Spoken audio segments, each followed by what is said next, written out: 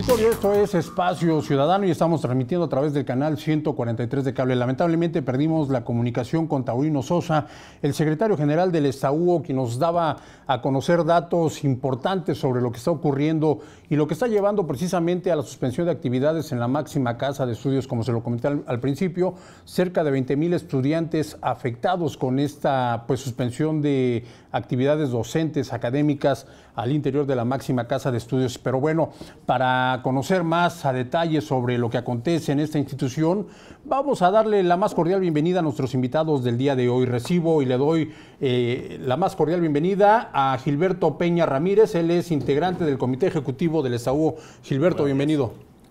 Muchísimas gracias por acompañarnos. También recibimos a Heriberto Ramírez Heriberto Ramírez Caballero, profesor universitario. Qué amable, Juan Antonio, muchas gracias. Bienvenido, muchísimas gracias. Nos acompaña también el licenciado Víctor Hugo López, asesor jurídico del ESTA-U. Licenciado Víctor Hugo. Muchas gracias, Toño, por la invitación. Muchísimas gracias. Bueno, lamentablemente perdimos la comunicación con Taurino Sosa, pero una pregunta que yo le hacía antes de irnos a corte comercial y, re y recuperando sus palabras textuales. El rector de la máxima casa de estudios no es depositario, ni defensor, ni guardián de los dineros del sindicato. Este, esta cantidad de dinero de la que se habla ahorita, 5 millones de pesos, y uno del que aproximadamente no ha recibido el Estado, ¿a dónde debería ser depositado de manera directa? ¿Es el gobierno del Estado quien aporta esta cantidad de dinero? Sí, eh, efectivamente el bono de los 5 millones de pesos de los que se habla es un recurso que el gobierno del Estado aporta y se deposita directamente a las arcas de la universidad a través de la Secretaría de Finanzas, tanto del gobierno del Estado como de la propia universidad.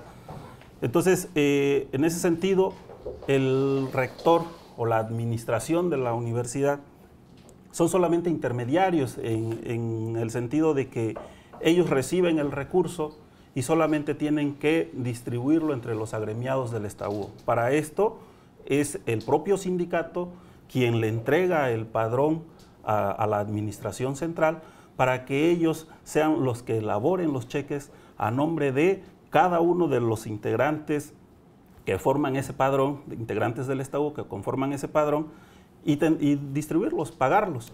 Desafortunadamente aquí tuvimos este, la intromisión por parte de la administración central, en el sentido de que ellos deciden a quién pagarle y a quién no.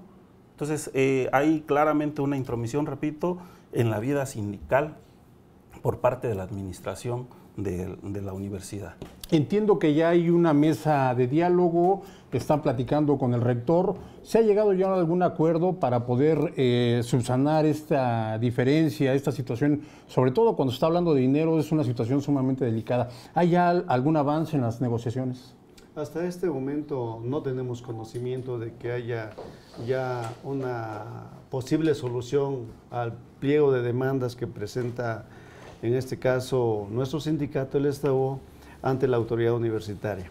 Y desde este espacio, agradeciendo de antemano nuevamente, invitamos al ciudadano rector a que reconsidere la actitud, somos universitarios, somos compañeros de trabajo, en el fondo lo que pedimos es que eh, no sea generador de condiciones eh, inadecuadas para la universidad. El hecho de que veintitantos mil alumnos no tengan clase ahorita eh, se, se, origina por una decisión de no respetar el padrón que se le presentó para la distribución del bono a los compañeros este, afiliados al sindicato. En este estricto sentido, si hubiese habido la eh, repartición del bono de acuerdo al padrón que presentó el Comité Ejecutivo, no tendríamos este problema ni estarían las instalaciones ocupadas. Es una forma de manifestarnos, de informarnos y, y de decir que, eh, como decía el compañero que me antecedió, no queremos que haya intromisión en la vida sindical por parte de la autoridad universitaria. Lo que queremos es que haya diálogo constructivo, diálogo para solucionar y, nosotros aportar en lo que esté eh, nuestras capacidades para los, la solución de los problemas de la universidad, incluyendo, por supuesto, la de los compañeros eh, catedráticos afiliados al Sindicato de Trabajadores Académicos de la, la Universidad de Oaxaca.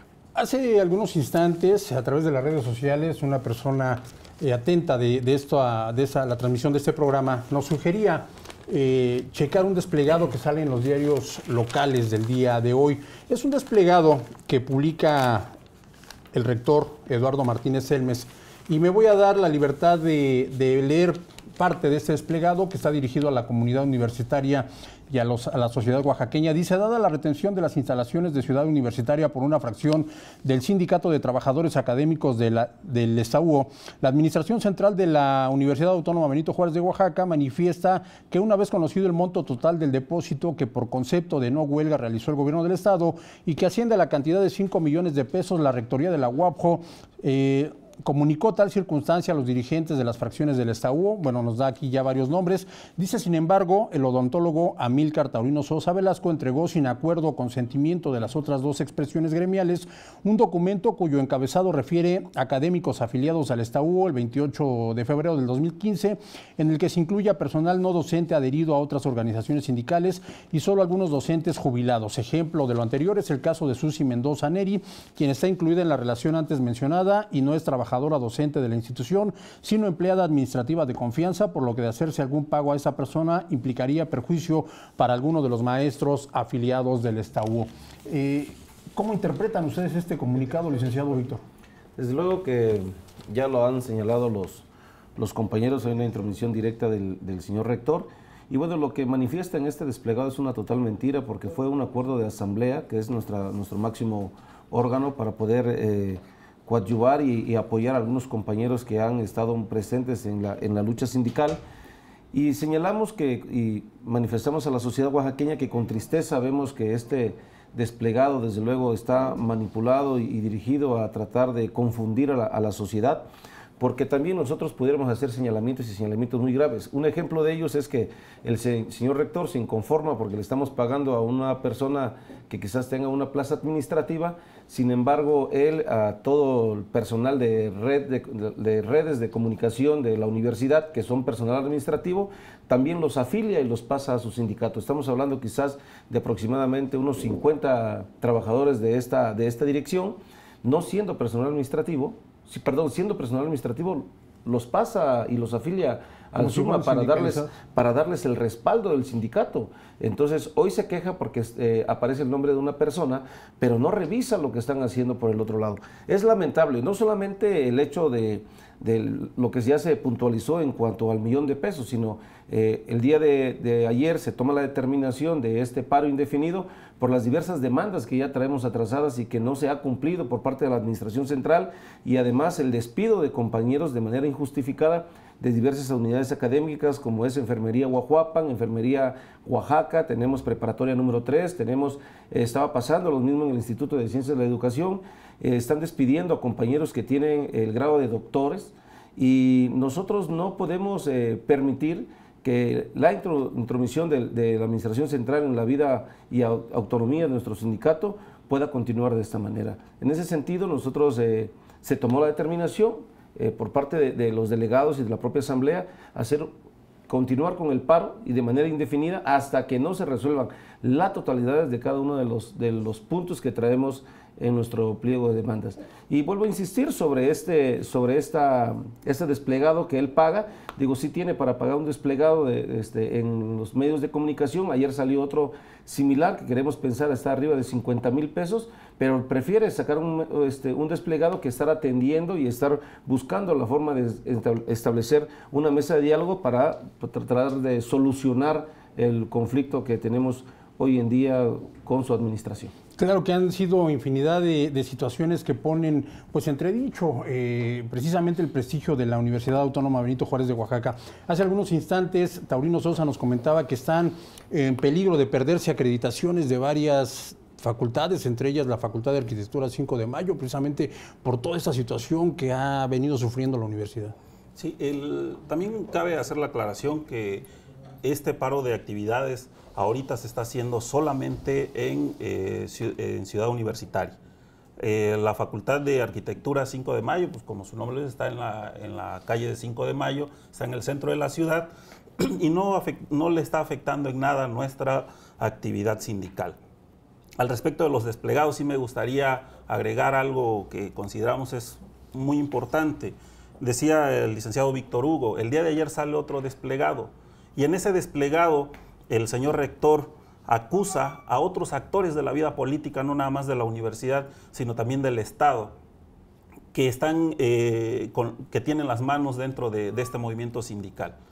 Y curiosamente el día de hoy en su desplegado menciona a una persona con el mismo apellido, apellido Neri, y ustedes sabrán a quién me estoy refiriendo.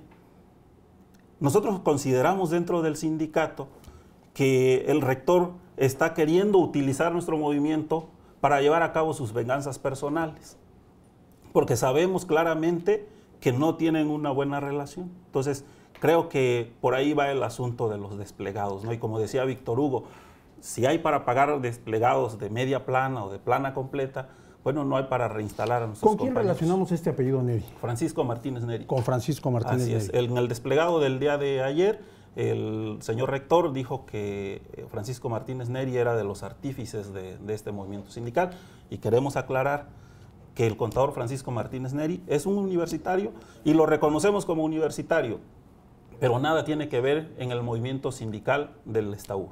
¿Interés político en este movimiento?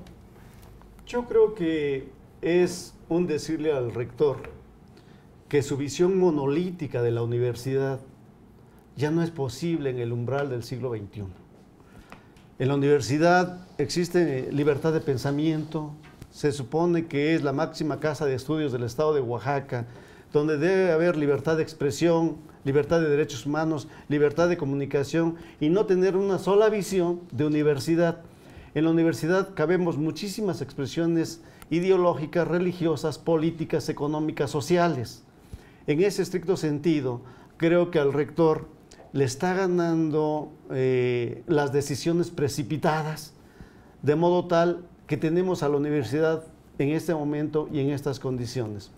Eh, desde aquí un llamado al rector de la universidad para que pondere, para que pondere las acciones y las decisiones en beneficio de la comunidad universitaria y no por una decisión unilateral tengamos un problema afectando a más de 20 mil estudiantes de todo lo que es la ciudad universitaria.